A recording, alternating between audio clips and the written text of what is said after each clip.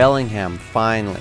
So today we got a pretty cool collaboration going with four mountain bike YouTubers. Ryan, who is the Loam Ranger, came out this way from Alberta for a week-long trip. Eric of BCPOV came down from Vancouver. And three of us met with Josh of Daily Mountain Bike Rider at Galbraith Mountain. Just yesterday, I got my new chainstay put on along with some new bearings, and I also put on the new front brake lever. Now my bike feels a lot more solid. All right, boys, ready to pin it uphill before we go downhill. I was supposed to take my Norco Truax along, but I really needed to rebuild the rear shock on that one, and it just wasn't ready on time. So I did my best to make the DH bike work for these trails. Put 40 psi in my tires, put extra air in my fork. I really want to keep up with these guys on this ride. Okay, that's enough. Yeah. So for today's video, we're hiking all the way to the very top to ride a trail called SST. That trail is a nice long trail that will bring us all the way down to the parking lot.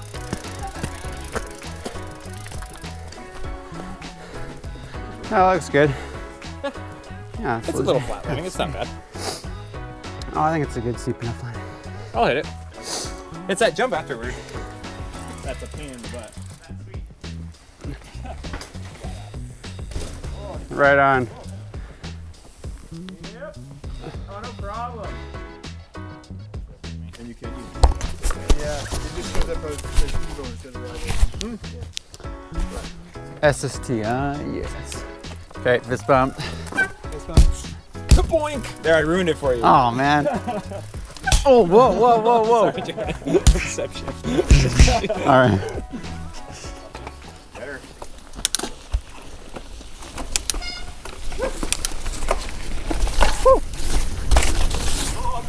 All right. Woo! Oh, sick. Woohoo! Oh, that's so dope.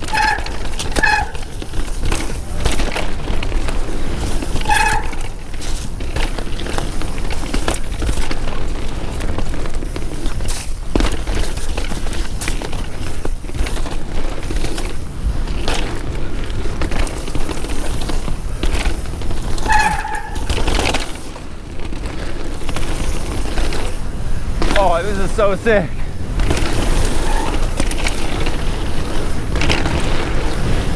Dude, that was sick. that was so good. So fun.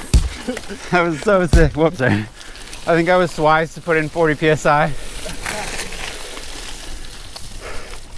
Helps me roll through it all.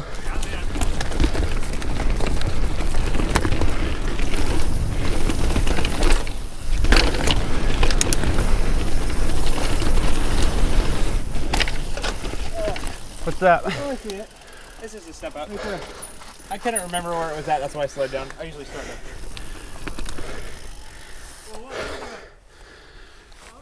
All right, we're gonna pin it. Oh, I see. All right, we're riding SST, guys. This is so sick. Approach session, a uh, step down into a step up.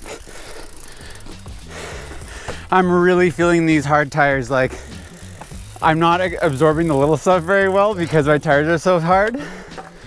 But Yeah, it's, the sidewalls and the Marys are really stiff. yeah, 40 psi. I think you're crazy, man. Are you 40 psi? yeah, for today. I normally do about 30. Oh wow.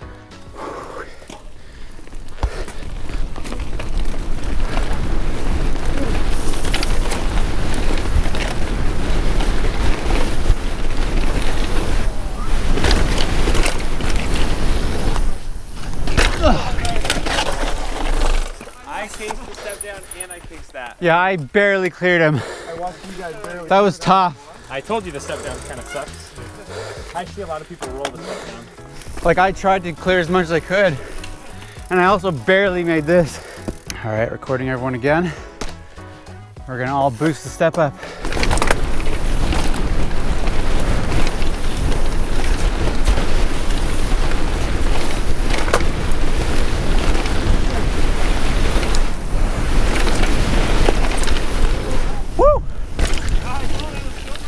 Yeah, I cleared that so much better.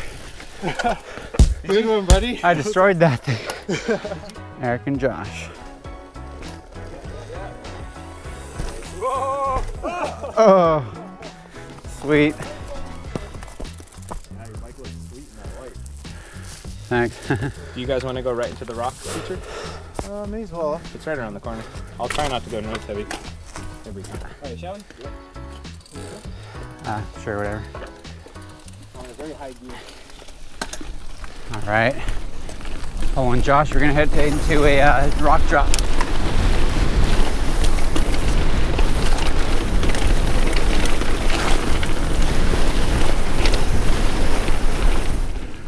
Okay, hitting a rock drop here.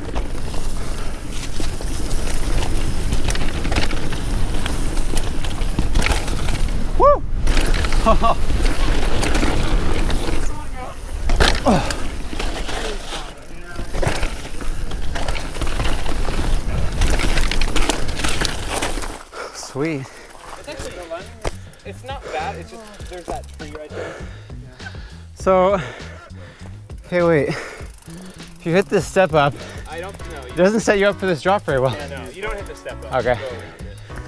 You just just gotta come up high. Yeah. So you got. This is all the travel I use on that drop. Oh wow. Still too much air in my part. That's how much I use on mine. Yeah. I bought About the same as mine, actually. Yes. Just yeah. Yes. Yes. This step up was hard to clear. So like, you want to come up here, or where? Uh, like on like on this line. It's a bit weird, but It's not that bad. you're not even going that fast over it anyway. I ended up deciding it was best to just hit that step up in order to line myself up for that next step down. Avoiding that step up would just create too awkward of a turn before that step down. So for this line, we're just gonna link all three stunts together. Okay, hit the step down to the step up to the other little drop. Send it.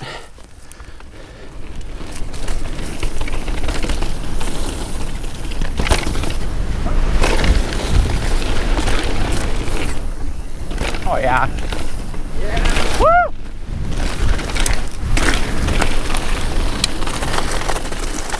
That was mint. Dude, I cleared this step up so much easier. That was the smoothest I've ever hit that rock drop. Nice. I just followed you on it. Yeah, I hit it pretty smoothly too. I landed a little bit on the left side of the, kind of on those rocks, but it was a good landing spot. All right.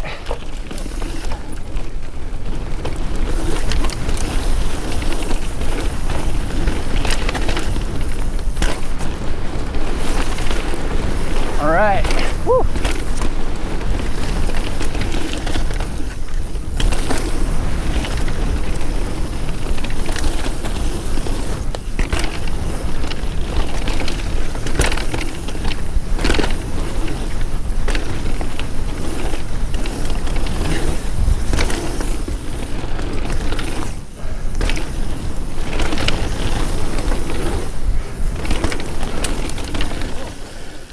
Yeah, that was more tiring. Yes, it was. more pedaling, eh? Yeah.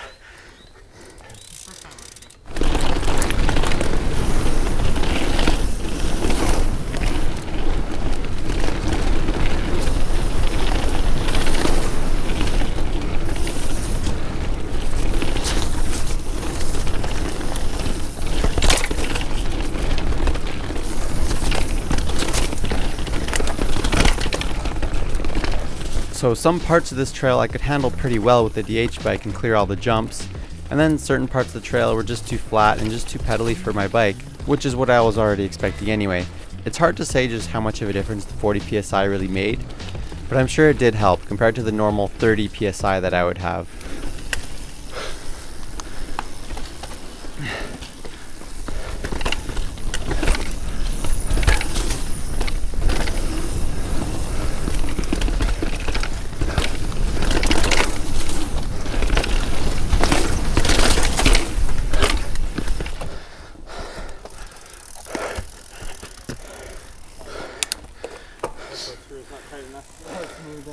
Just a little trail left. And this trail, fun little jumps. A little double, a big rock garden turn, and then it's like a roller coaster. Just tight. Cool. All right, back going. Yep.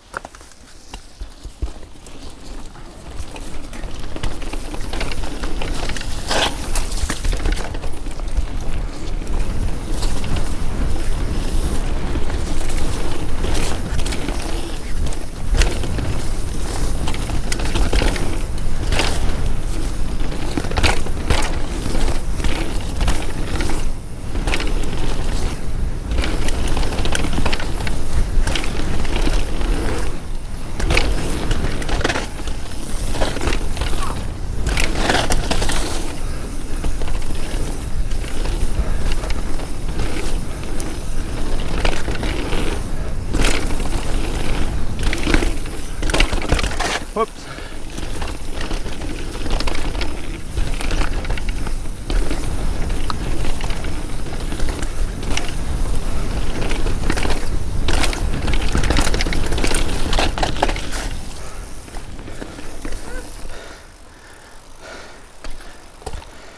That was a fun way to finish off. Yeah, man. That's good.